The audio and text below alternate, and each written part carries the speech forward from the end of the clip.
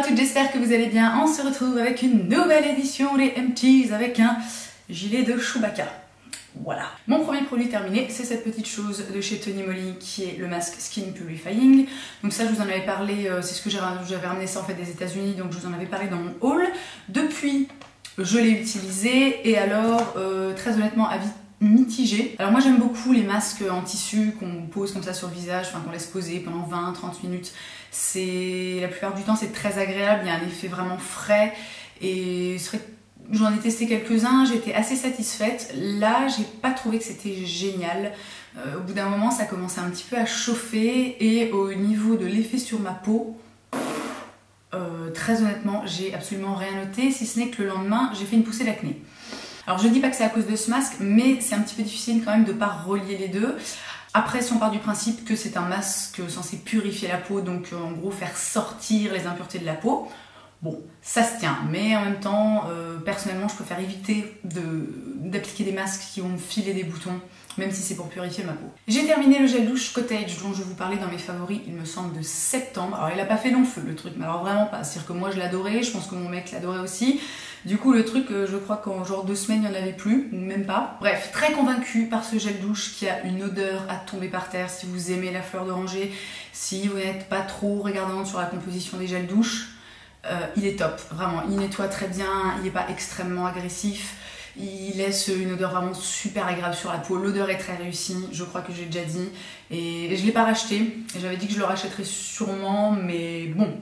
Disons que dans l'idéal, je préfère éviter d'acheter des, des gels douches qui ne sont pas bio, mais je le garde dans un coin de ma tête. Un autre gel douche que j'ai adoré, qui est un petit peu dans la même veine, le gel douche à la fleur d'oranger et au pamplemousse de chez Rennes. Euh, ça aussi, je crois que c'était dans mes favoris ou alors dans je ne sais plus quelle vidéo. J'ai adoré ce gel douche. Euh, pareil, il n'a pas fait extrêmement long feu parce que j'étais vraiment, euh, j'étais vraiment au taquet. L'odeur est ultra réussie.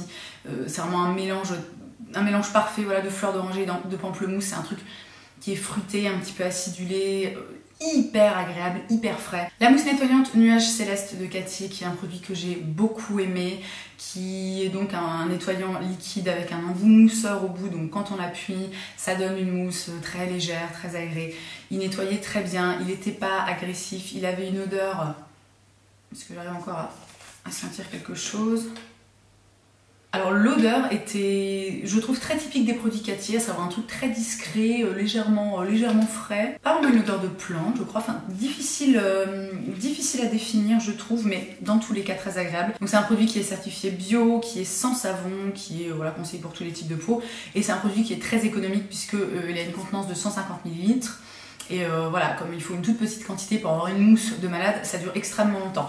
Après, très honnêtement, du coup, euh, comme j'ai terminé, j'ai recommencé à utiliser, euh, enfin j'ai racheté le nettoyant mousse de chez Madara dont je vous ai déjà parlé aussi et à choisir je préfère, je préfère le Madara enfin tout du moins sur ma peau je trouve qu'il a, un, meilleur effet mais ce nettoyant là est vraiment très très bien. Deux shampoings à Rawa dans mes produits terminés donc le premier c'est le classique et euh, si vous regardez mes vidéos MTs ou mes vidéos cheveux ou les trucs comme ça, vous devez savoir que je suis assez mitigée par ce shampoing parce que c'est un shampoing qui coûte cher alors qu'il y a une excellente composition, euh, tout ça, tout ça, voilà, qui est voilà, donc euh, certifié bio, je crois que c'est vegan, est-ce que c'est cruelty free Non, alors ça c'est pas ça c'est pas spécifié, mais voilà, c'est un très très bon produit avec une très bonne composition, mais c'est absolument pas un shampoing de fou. C'est-à-dire que j'ai déjà testé des shampoings de chez Alverde qui coûtent 10 fois moins cher et qui sont 10 fois mieux.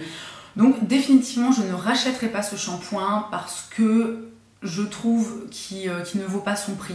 Il nettoie très bien, mon dieu, il y a une mouche qui me, il y a une mouche qui me vole autour. Est-ce qu'elles sont pas toutes mortes normalement les mouches à cette époque de l'année? Donc pour moi c'est un shampoing qui ne vaut pas son prix, il moussait quand même euh, très moyennement, ce qui moi personnellement m'énerve un petit peu parce qu'il y a des shampoings bio avec des tensioactifs très doux qui moussent très bien. Euh, voilà, je mets de côté et euh, il va rester où il est. Donc le second c'est aussi un shampoing Rawa, sauf que cette fois-ci c'est euh, le shampoing volume. J'ai un peu plus accroché avec celui-ci qui pour le coup euh, je trouve donnait vraiment, alors pas forcément du volume, mais donnait vraiment du corps aux cheveux. Quand j'utilisais ce shampoing, sans mettre après d'après shampoing vraiment très nourrissant, très hydratant, mes cheveux avaient avaient vraiment une texture plus comment dire, plus accrochante. Voilà, il y avait plus de, plus de texture. Après, ça a été la même chose qu'avec le, Rawa, le shampoing Rawa classique, à savoir que ça moussait quand même assez moyennement. Au niveau de l'odeur, alors il me semble que c'est exactement la même chose pour les deux. Ah non, ça c'est le, classique qui est un petit peu plus, euh, un petit peu plus une, odeur, plus une odeur de, comment dire, de réglisse. Mais qu'est-ce qu'elle veut cette mouche? C'est incroyable Si tu veux un câlin, tu veux un bisou, je sais pas. Voilà, pose-toi là, ne bouge plus. Bon, ça se ressemble pas mal, mais voilà, c'est un, petit peu, un petit peu différent. Bref, les shampoings Rawa, je pense que j'ai fait le tour et que je laisse tomber. J'ai aussi utilisé ce petit masque que je vous avais présenté euh, pareil dans mon haul des USA. C'était donc un masque, euh, un masque pour les yeux de la marque It's Skin. Je vais vous mettre une petite photo juste ici ou juste là, bref quelque part pour vous montrer un petit peu à quoi ça ressemblait. C'était donc un masque en espèce de, en espèce de gel et en forme de genre de papillon comme ça. Alors c'était kitschissime. Je l'ai utilisé le surlendemain de ma soirée d'Halloween qui avait été, euh, comment dire, une grosse grosse grosse soirée. C'est-à-dire que le dimanche j'étais mais tellement au bout du fin fond du, gouffre, du rouleau. C'était l'enfer. Et le lundi matin, quand je me suis levée, j'avais une tête, mais épouvantable, mais vraiment. Du coup, je me suis dit, quel meilleur moment que euh, là tout de suite maintenant pour tester ce masque. Alors, c'était très agréable, euh, ça tenait assez bien, j'avais un peu peur que le, côté un peu gélatineux, que ça se casse la gueule, que ça glisse. Non, euh, une, fois, une fois mis en place, ça a très bien tenu, j'ai dû le garder, je pense, franchement, entre 20 minutes et une demi-heure. Ça a vraiment fait du bien au contour de mes yeux. Alors après, comme j'étais vraiment ultra claquée, ça n'a pas fait disparaître mes cernes. Mes cernes qui de toute façon ne disparaissent jamais vu qu'elles sont... Euh, enfin voilà, c'est euh, héréditaire chez moi, c'est génétique. Voilà, c'est le contour de mes yeux la peau du contour de mes yeux qui est comme ça. Mais c'est vrai que ça a pas mal aidé le contour de mes yeux à dégonfler et à se raffermir un petit peu.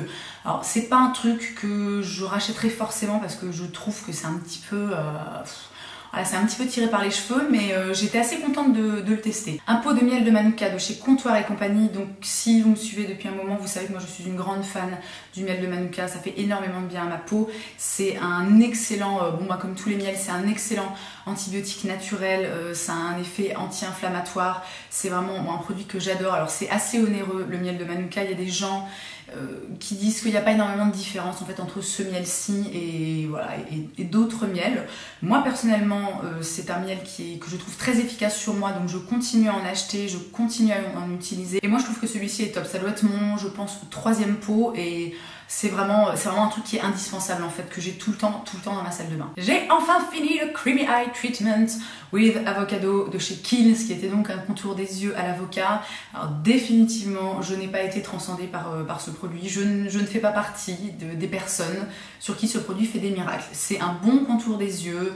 Euh, il est relativement bien nourrissant, mais moi je trouve que quand on a le contour des yeux vraiment très très très déshydraté, ce qui est mon cas, je trouve ça bof et à choisir, je préfère mille fois appliquer euh, une, huile végétale, que ce soit une huile, voilà, une huile d'avocat ou alors une huile d'argan. Je trouve ça beaucoup plus efficace, tout du moins sur moi, que ce produit. Donc je suis bien contente de l'avoir terminé. C'était pas un mauvais produit, mais euh, maintenant je suis fixée, je ne le rachèterai plus jamais. Un très très vieux produit que j'ai ressorti euh, d'un placard et que j'ai terminé il y a quelques semaines le gel nettoyant anti-imperfection de Juice Beauty. Pardon.